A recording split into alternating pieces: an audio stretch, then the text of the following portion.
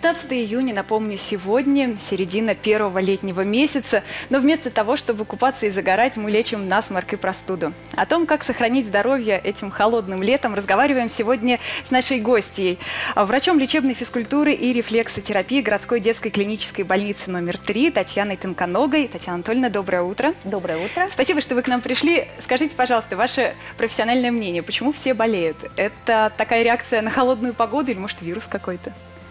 Ну, в действительности переход от весны к лету, он, в общем-то, особенно в нашем регионе, нынче очень обманчив. Мы видим, что вроде бы светит солнце, и тут же его меняет сильный ветер, идет дождь, гроза. Но нам настолько хочется побыстрее раздеться и нашим деткам, и взрослым, что мы опрометчиво все себя скидываем, ну и просто попадаем под потоки холодного воздуха. Угу. Сквозняки, э, намоченные ноги в воде, и надо сказать, что именно в такой температуре, вот в теплой, э, очень хорошо размножается вирус. Сейчас очень много мероприятий э, общественных, то есть и вот экзамены идут, и, в общем-то, ну, люди... Выпускные, опять же. Да, выпускные. Ну, и люди, конечно, на рабочем месте, то есть контактность достаточно высокая, люди стали больше общаться, так как больше у нас сейчас светлого времени года, и контактность высокая за счет этого Соответственно, вирус... все друг друга заражают, Конечно, да? конечно. А, что делать в этой ситуации? Как, как, скажем, одеваться, например, чтобы не попасть... Но в данном случае не надо сразу раздеваться. То есть должна быть обязательно запасная одежда. Одежда должна быть хлопчатобумажная, двух, и может быть даже трехслойная. Обязательно с собой должен быть зонт, да, для того, чтобы беречь себя от лишней влаги. И Сменная обувь. Ну, да, можно так выразиться. Ну, и по возможности, конечно, э, так, чтобы э, какая-то кофта, то есть какая-то теплая вещь должна быть на случай, если где-то попадаем в, каком-то, э, в какой-то холод или на какой-то сквозняк. Вопрос, который всегда становится предметом спора в офисах. Включать или нет кондиционер? Ну, здесь вопрос э, такой достаточно деликатный. Может быть, на какое-то время, конечно, нужно включать, потому что в духоте тоже очень сложно себя вести. Но в данном случае, значит, э, закрывать открытые места, потому что если кожа влажная и, предположим, э, человек вспотел, то очень легко можно простудить и заработать и миозиты, и не только простудные просто заболевания.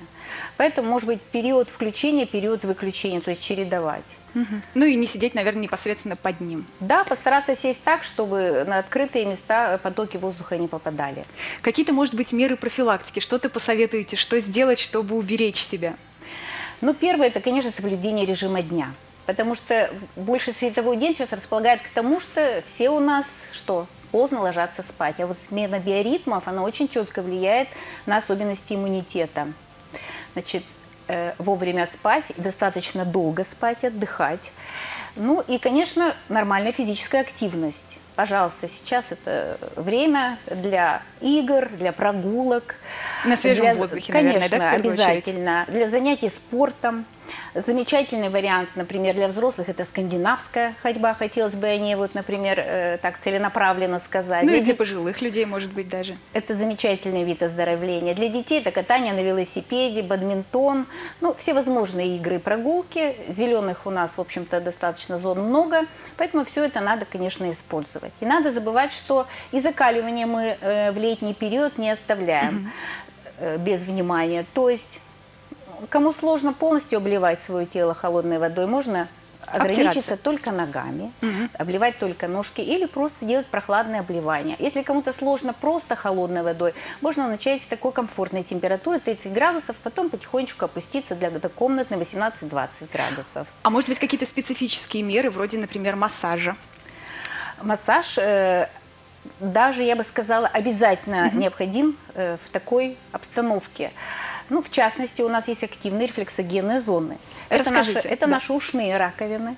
То есть утром проснувшись, пожалуйста, можно промассировать ушную раковину до порозовения. У нас есть очень активные зоны, это наши пальчики. Каждый пальчик – это маленький человечек. Поэтому массаж даже одного пальчика приведет к тому, что в, в организме возникнет эффект равносильный массажу всего тела. Про пальчики не забываем. Стопы наши тоже активные зоны. Пожалуйста, небольшие массажеры, э, активная зарядка, прыжки, например, на стопе, растирание ногой об ногу. То есть э, возможны любые варианты, э, вызывающие порозовение. То есть, э, и, и все это нужно делать тело. каждое утро. Да, лучше это перед тем, как просыпаешь. Все Вернее, понятно. после того, как проснулся. Но ну, еще а... не надо забывать о питании. Вот летний период сейчас.